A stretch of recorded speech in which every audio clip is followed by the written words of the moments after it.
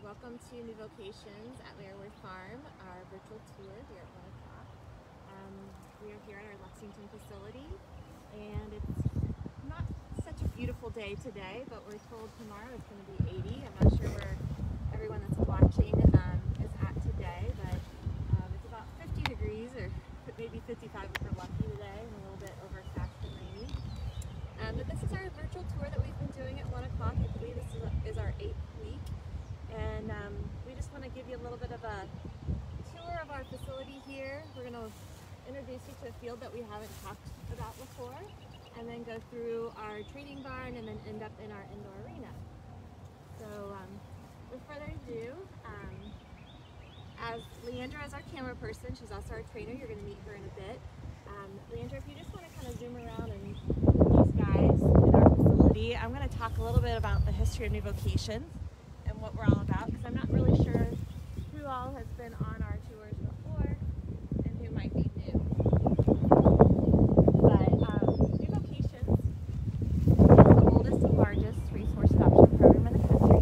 We take in thoroughbreds and standardbreds um, from all over, sorry, from all over uh, the United States. Uh, our mission is to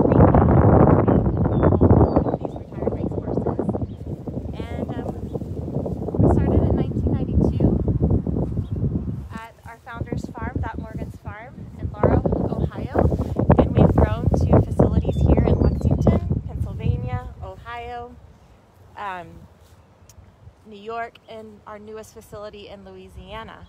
And so, um, again, our mission is to work with the racing industry. We work with over 40 different racetracks, uh, or have horses coming in from 40 different racetracks across the country. And it's been pretty busy here. Um, you know, a lot of the racing right now is is closed. Um, I know we're looking forward to having Churchill open for racing this weekend, but there's still a lot of tracks that are closed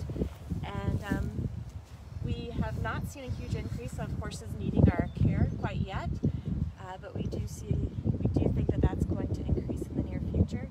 However, one of the things that we have seen since the whole lockdown and COVID is that we've had a huge increase in number of adoptions, and last month we had 60 adoptions, um, which was a, our largest adoption month in history.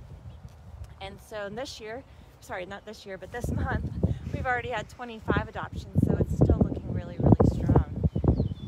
so with further ado, let's look here in the Mandy Pope field, Leandra. We've got three horses out here. And um, this field is, is very special. Um, there's a horse out there with the blaze, the white on his face. His name is Ranger.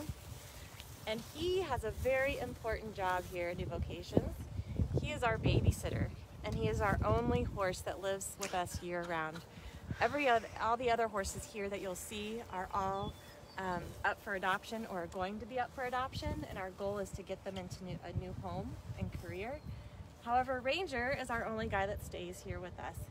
And um, he actually was donated to us by the late Joyce Ravsham. He is a full brother to a stallion named Discreet Cat who stood over at Jonabell, our partners with um, Visiting Horse Country Tours and um, he was born with a slight deformity of his left hind leg. It's kind of hard to see there now, um, but it became apparent that he was not going to be able to go on to be a racehorse like he was bred to be. And um, so they called us to see if we might be willing to take him. And um, they've been big supporters of ours, and actually our training barn was sponsored by them, as well as Repole Stables. And so we, we said, yes, we absolutely will take him, but he is going to have, if he's going to stay with us year round, he's going to have to have a job. And that is, he's going to have to be a babysitter. And so it might sound like an easy job. Um, can't say that I actually was a babysitter growing up. but if I were, I would, I now know as a mom that it's a very hard job. And um, for these racehorses, when they're coming off the racetrack, they haven't been turned out and able to even touch other horses for for many years and sometimes, you know, just months. Um, when they're at the racetrack, they're in their stalls 23 hours a, a day, and um, when they're out, they're under tack and they're they're working out. So for them to come here one of the first things we do is we buddy them up with a horse like Ranger. And um, Ranger then, it's his job to kind of teach them how to behave on turnout and how to socialize. And um, he gets some of the most naughty boys who naturally want to go out and just bite each other, kick each other, because um, they don't really know any better. And Ranger stands his grounds. He doesn't try to hurt them, but he um, is a big boy, as you can see. and he teaches them how to behave. Uh, I have Leandra behind the camera. Maybe you can share about the two horses that are out here and what Ranger has taught them.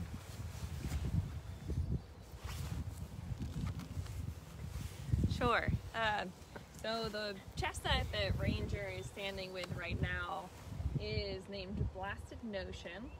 And Blasted had an injury to his suspensory that required significant rehab time and he was not a very good citizen as we found out in turnout. So like Anna mentioned, um, a lot of the horses are coming from situations where they, they're not really socially um, equipped for you know things like sharing things that siblings might learn from a lot of the social interactions when you're young and and he just he wasn't a very good um, comrade in, in the field so after he had a couple failed turnout buddies where the horses ended up very um, shy of him and cowering in the side of the field because Blasted was more of a tyrant than a friend we decided to move him over here with Ranger, who quickly and swiftly corrected that behavior.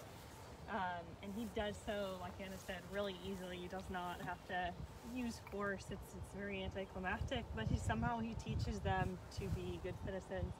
And in doing so, we were able to have them in this field where we turn out other horses. So Barahona here, who's the dark bay in the field, is a newer member of this field and he comes in and out. He has a training stall. He's currently doing rehab rides for superficial digital flexor tendon injury that he had that just needed more time.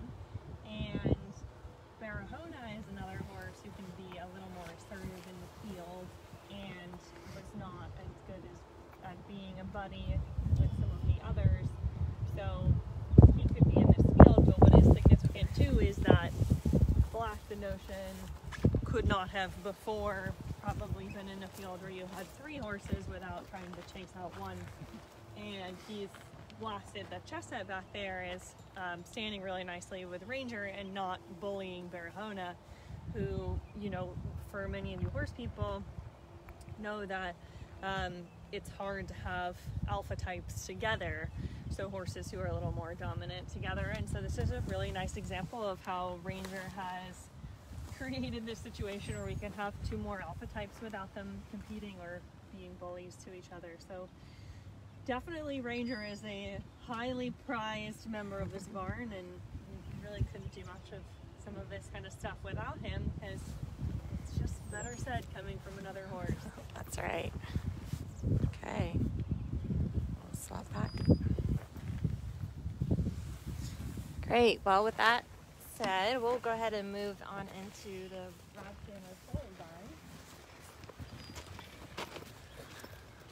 You can see here, this is um, our one of our training barns. We have two identical ones. They both have uh, 15 stalls, so there's 30 stalls on this side of the property. We have over 150 acres of pasture, and um, we're going to go in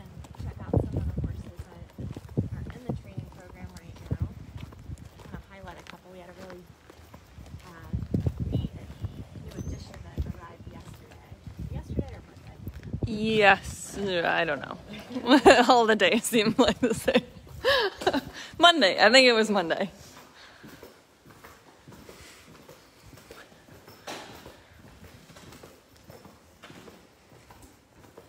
So I'm um, not sure if in our audience today, but um,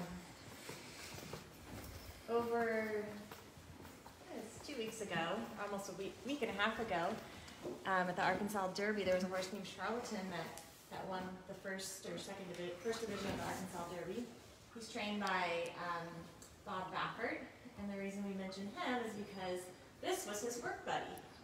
Um, this is Dr. Dorr, and he was also at Oaklawn, and um, then shipped, he raced his last race there, shipped back to California, and his owner's Bob's wife, Jill Baffert, and she called us and she said, you know, it was time for her beloved Dr. Dorr, who was named after um, a doctor who did surgery on her hip, and she wanted to make sure that since he was retiring sound and was a really um, athletic individual, that he went on to a second career, not just into a retirement home. And so we got Dr. Dorr, he caught a ride back from California um, and arrived here on Monday morning, and he walked off the trailer just like he owned the place. Yep. And um, at the beginning stages of his transitional training, he's just going out by himself right now. Um, but he might be one that eventually goes out with Ranger in a little bit, probably another week or so. So we're excited to have him. Like I said, he's seven years old, and um, we're really looking forward to seeing what, what he can do. So. And again, coming from California, it's not unusual these days. Horses ship all the time cross country, and we are seeing more and more horses coming from the California racetracks um, in the last couple of years. Let's see who else we have. One here. Sea Shark is one that we featured not too long ago. Um, we have a horse named Jumping Through Hoops who's going to be in our indoors that we're going to see next. And then Discreet Fantasy was one that I wanted to kind of point out. He was bred by local farm here, Hinkle Farm. And he is actually um, by Discreet Cat, who was Ranger's brother. And um, so we're excited to have him. He's a, is he up for adoption yet? Not yet. He lost a shoe, but hopefully Oh, sneaker. Oh, no, buddy. he just got it put back on, so we're hoping to get him up online soon.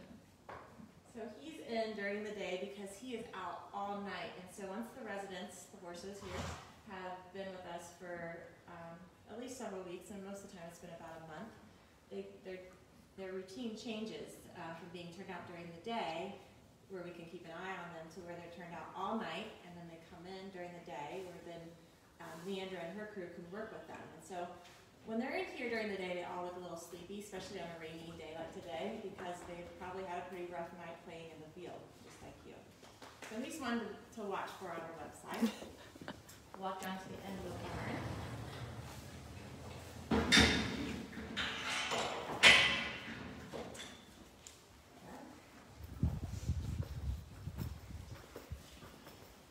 You can see there's some empty stalls. These guys are, are turned out, and we also have a couple empty stalls right now. Um, and we have new horses that are gonna be coming in shortly. Don't know if we have any Alabama fans, but we have a horse right now named Roll Tide. He's on our website right now. It might be one that you guys could look for. Obviously, somebody had a fun time with that name, and we're Alabama fans. Are you worried? He actually just got adopted. Oh, you just got adopted. Yay! Are you going to Alabama? no. that would be fun. and then we have uh, Trading Post and Regal Image. Regal Image was a new one that just came yesterday Good over from Valley Bell Farm. And uh, we had two come from their farm, and we work um, often with a lot of their horses. They're also part of the horse country tours for you. So he just got here uh, yesterday, and we'll be slowly getting him into his group and routine and keeping an eye on him and seeing what he's going to be all about. So let's go on into Norina. We're a little bit limited on what we can do today just because the weather's still not so nice, but we'll move into the indoor. Here at the farm, talking again about the routine, the horses are normally fed um, in the mornings around 7.30, 7.30, 8 o'clock. Uh, horses that are outside come in. The horses that have been inside, once they're done eating, go out. And then after the, uh, that time, the, our barn crew cleans all the stalls. And then they start working with the horses. And so um, our crew just got back from lunch, and I know they have jumping, horse named Jumping Through Hoops, who's in the indoor arena. Leandra can show, kind of pan around. We have our outdoor arena here where we prefer to work when, when the weather is nice. But we're very lucky that if it's not like nice like today, we can move into the indoor arena and continue making sure the horses are getting the training they need.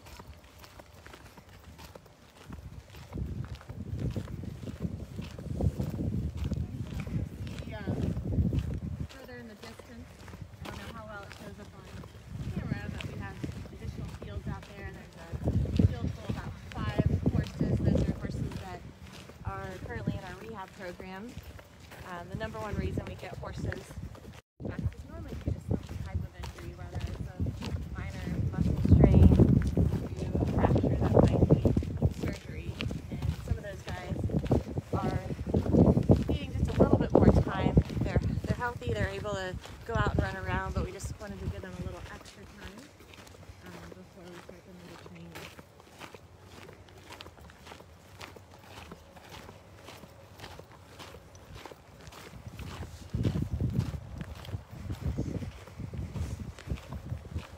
Okay, so we're gonna leave indoors and do a little camera swap.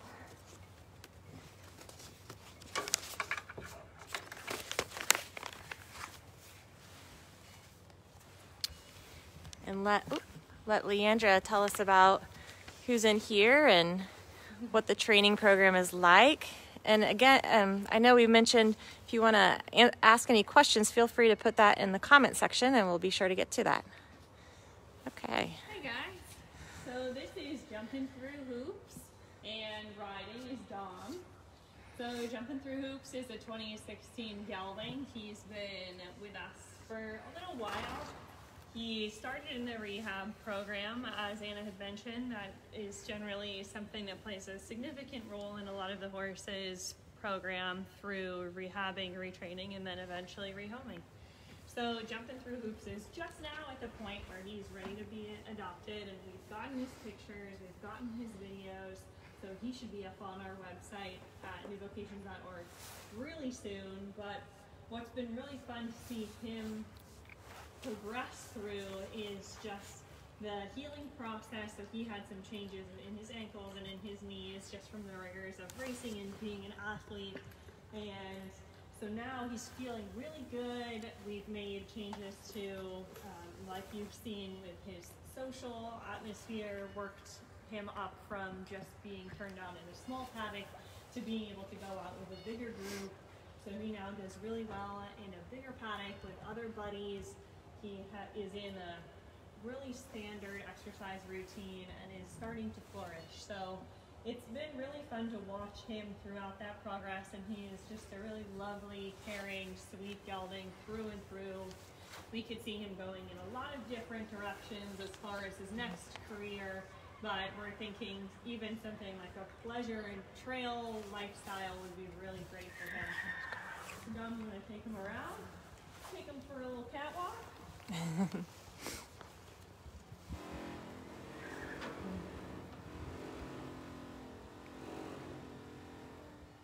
if you're hearing a little buzzing sound in the background, that's just uh, the wind blowing through our indoor. So it actually serves as an interesting litmus test for our horses. See if it bothers them, and if it bothers them, then we can work through that as part of our training process. Trying to build their self confidence, which in turn translates to their overall confidence under saddle.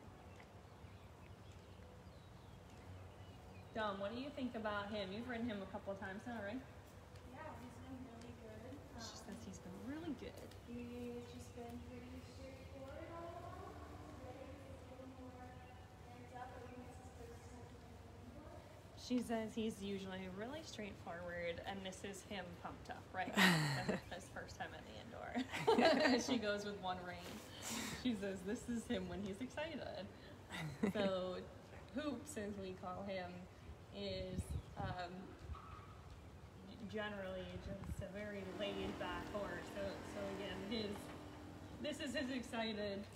He's a long ways from his career as a racehorse, where he had to focus mostly on speed and competition, and now he's much happier to embrace the pleasure lifestyle and routine that we're asking of him, since he was not as competitive as a racehorse. We think he will make a really phenomenal horse for somebody in his new career path. He's really sweet. He's really willing. Not too worried about going fast right now, clearly. Mm-hmm. And he raced in California, Yeah. Churchill, and Keeneland, I believe. Yeah. So, in case you can't hear Anna say that, he, he raced in California, in here in Churchill, in Kentucky, and where else? I think Keeneland as and well. Keeneland as well. So he's done some high level racing, and he definitely deserves a nice retirement, another career path. As do they all. Okay. Ask for questions. If there are any questions, feel free to type them into the comments box. We're happy to have you all here on the virtual tour today, so please feel free to let us know if you have any questions along the way. Are you okay to do the how you can help closing? Sure. It's pretty. Okay, no questions. So if we want to wrap it up, So if we have no questions, which it seems we don't at the moment, feel free again to type those into the comments box even after the fact, and we have somebody monitoring to see if any questions pop up afterwards, and we'll try to circle back and answer those as we can. So we'll wrap up our tour here if that's all we can do for you guys today. We do this every week, so in every week it's a little bit different. We have different horses, different things going on, and we're just really happy to be able to show you guys our facility, especially in the, these times where we can't have you all here in person. So if you're wondering how you can help after the fact, you are always welcome to um, help in several different ways. We really we rely on donations to stay running and to be able to help these horses as we do. So we're always really grateful for donations when you're able to make them. You can make them through our website, newvocations.org, and you can check out how you can help in a lot of different ways, which I think is kind of neat. So it's not just you don't have to just do a generalized thing, but say you want to help towards one thing or another, lots of different options. If you're thinking about adopting a horse or just bringing a horse into your life in general, we would love for you to consider New Vocations as one of your options. You can see all the wonderful horses we have currently available for adoption on our website again, newvocations.org. If you go to the horses tab, you can see all the lovely faces that we have available now, and we always have horses coming up in the wings. And for every horse who gets adopted, that opens up a stall for us to be able to bring in another horse. So, those are just a few of the ways that you can help. We'd love to have help however you're able to give. And as always, we'd love to have you guys tuning in here. Every week we do this virtual tour. Every day we have a meet and greet of newly adoptable horses at noon. And we're just happy to be able to show you guys all these all these mm-hmm. things, even from whatever comforts of your home or wherever else you are. So we hope to see you again next week. Tune back in every day if you want to see more of us at noon with our meet and greets, and we'll see you all again next time.